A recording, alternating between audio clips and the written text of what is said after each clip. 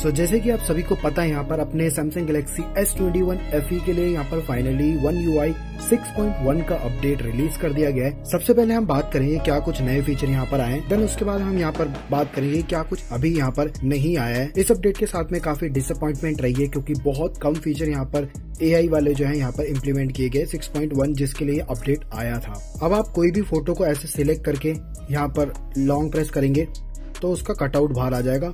और आप इस फ़ोटो को ना किसी और के ऊपर भी आप डाल सकते हैं लाइक इस तरीके से अगर आपको रखना है। तो एडिटिंग में काफ़ी काम की चीज़ है और काफ़ी सही है, ये ड्रैग एंड ड्रॉप का फीचर आपको देखने को मिल जाता है और उसके बाद आप इसको सेव कर सकते हैं।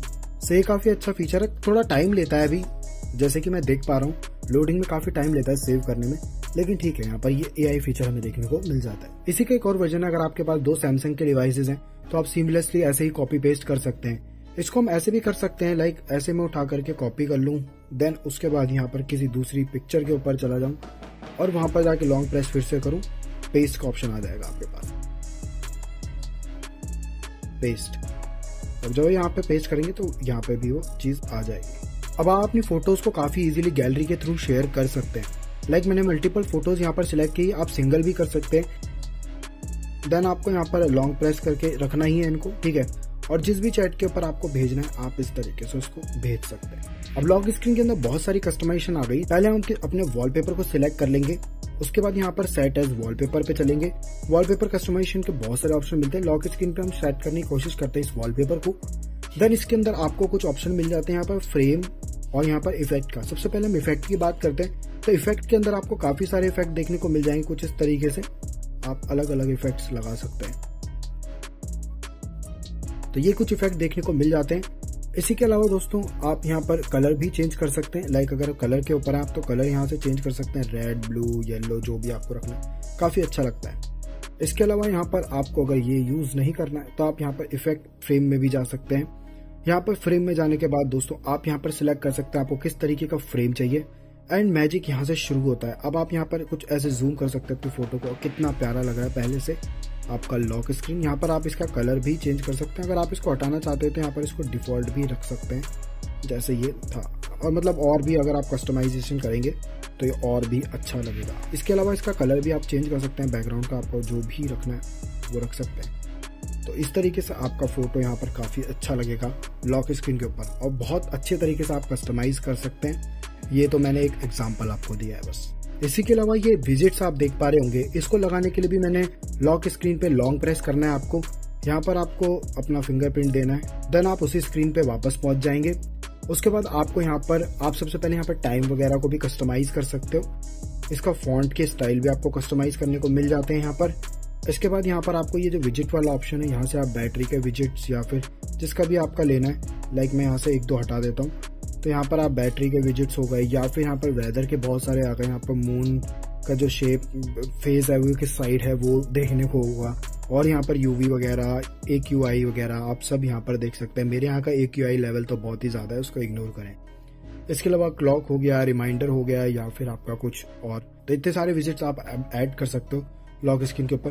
काफ़ी अच्छी बात। तो बस दोस्तों, इतने ही फीचर हैं, फ़िलहाल एक दो और हैं, जैसे कि मैं क्लॉक के ऊपर चलता हूँ यहाँ पर। और क्लॉक के ऊपर जा करके अब आप यहाँ पर बैकग्राउंड वगैरह जो है सिलेक्ट कर सकेंगे जब आप यहाँ पर जाएँगे। आप नीचे की तरफ़ ड्रैग एंड ड्रॉप करते हैं तो अलार्म बैकग्राउंड आता है। कस्टमाइज बैकग्राउंड को आप सिलेक्ट कर सकते हैं। मेरे हिसाब से तो पहले भी ये फीचर था बट अब और थोड़ा इन्हेंस हो गया है शायद। आई गेस मुझे यही लगता है और तो मुझे कुछ ज़्यादा मिला नहीं इसके अंदर बेसिकली अगर एस ट्वेंटी वन की बात एस ट्वेंटी एफ़ की बात करें। अब आते हैं यहाँ पर डिसअपॉइंटमेंट वाले पार्ट में। सबसे पहले अगर हम सेटिंग के अंदर चलते हैं, यहाँ पर डिस्प्ले के अंदर चलते हैं तो यहाँ पर हमें सर्कल टू सर्च वाला फीचर अब देखने को नहीं मिलता नेविगेशन बार के अंदर। जी हाँ दोस्तों मतलब पहले भी नहीं था, लेकिन जिनको भी अभी 6.1 का अपडेट मिला है, सबके साथ में ये मिला है बट एस ट्वेंटी के अंदर ये नहीं दिया गया है, जो कि मुझे लगता है कि यार ये गलत बात है, इसको देना चाहिए था। Even S twenty three F को भी दिया गया है तो इसको क्यों नहीं? क्योंकि इसके अंदर आपको हार्डवेयर कैपेबिलिटीज भी देखने को मिलती है। तो इसको भी देना चाहिए था यार अपडेट इसके अलावा आपको अभी सुनने आया होगा कि भाई सर्च में आप यहाँ पर समराइज कर सकते हो। नोट्स में यहाँ पर समराइज कर सकते हो। लेकिन मुझे यहाँ पर नोट्स के अंदर सा कोई भी फीचर देखने को नहीं मिला। जब मैं यहाँ पर नोट्स पे गया तो यहाँ पर मैंने कुछ करके देखा और मेरे को यहाँ पर सच बताऊँ तो मुझे कहीं भी वो समराइज वाला यहाँ पर बीच के अंदर ऑप्शन आ रहा है, वो नहीं देखने को मिला। इसी के अलावा दोस्तों, यहाँ पर ए आई वॉइस और A I assistant call assistant भी आया है। जो कि इस डिवाइस के साथ में वो भी नहीं दिया गया है। इसी के अलावा जब आप रिकॉर्डिंग वाले ऑप्शन में जाते हैं तो रिकॉर्डिंग वाले में भी आपको ए आई रिकॉर्डर का ऑप्शन दिया गया मतलब आप जो अपने रिकॉर्डिंग को इसको एज ए स्पीच में भी कन्वर्ट कर सकते हैं, लेकिन मुझे वो भी यहाँ पर नहीं दिखाई दिया इसके अलावा वॉलपेपर के ऊपर भी यहाँ पर हमें नए ए आई वॉलपेपर वाला ऑप्शन देखने को मिलता है, लेकिन यहाँ पर वो भी मिसिंग मुझे लगा। यहाँ पर आपको जनरेट ए आई वॉलपेपर आता है, जो कि इस पे नहीं मुझे देखने को मिल रहा है। तो ये भी यहाँ पर फीचर अभी मिसिंग है और आई होप आने वाले टाइम में आ जाए। इसी के अलावा सैमसंग का जो कीबोर्ड आता है, मैं तो वैसे यूज़ करता नहीं, लेकिन सैमसंग का जो कीबोर्ड आता है, उसके अंदर भी हमें ऐसा कोई फीचर देखने को नहीं मिला। जब मैंने यहाँ पर सैमसंग का कीबोर्ड यहाँ पर इंस्टॉल डाला था अभी, ठीक है तो मुझे उसके ऊपर कोई भी एआई फीचर देखने को नहीं मिला। जबकि एटलीस्ट वो तो दिया जा सकता था समराइज वगैरह करने का उस पर ऑप्शन है तो वो भी मेरे हिसाब से मिसिंग है यहाँ पर। और आपको लगता है कि मैंने कोई फीचर मिस कर दिया है तो नीचे कमेंट में ज़रूर बताइएगा, ताकि मैं सभी ऑडियंस तक उसको पहुँचा सकूँ। आई होप आपको वीडियो काफ़ी इंटरेस्टिंग लगा हुआ पसंद आया तो प्लीज़ हमें चैनल को सब्सक्राइब कर लीजिए। वीडियो के ऊपर ज़रूर से लाइक कर लीजिए कमेंट करके ज़रूर बताइएगा वीडियो कैसा लगा। मैं मिलता हूँ दोस्तों, इसी तरीके की एक और इंटरेस्टिंग वीडियो के साथ। तब तक बाय नमस्कार।